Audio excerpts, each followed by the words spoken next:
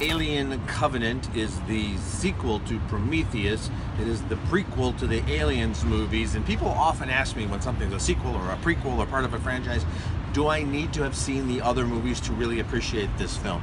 Sometimes movies are standalone pictures, even though they're part of the franchise. In this case, yes you actually do need to have seen the movies, especially Prometheus.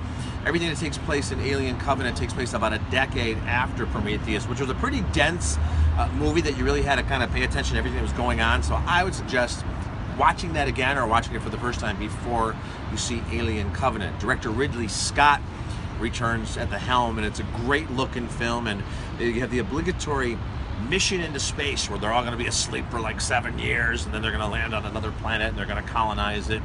And then, of course, all kinds of things happen, and the best laid plans of astronauts and scientists go kablooey.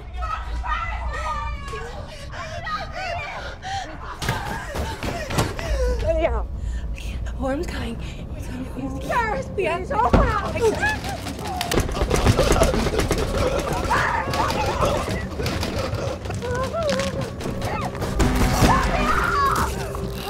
Michael Fassbender plays two variations on synthetic human beings here, and he's perfectly cast for that, and he's really good. This is scary, this is dark, this is haunting. A couple of times the twists were so obvious and predictable, so it's not a great alien movie, but very solid. I'm giving it three stars. Check it out. It's called Alien Covenant.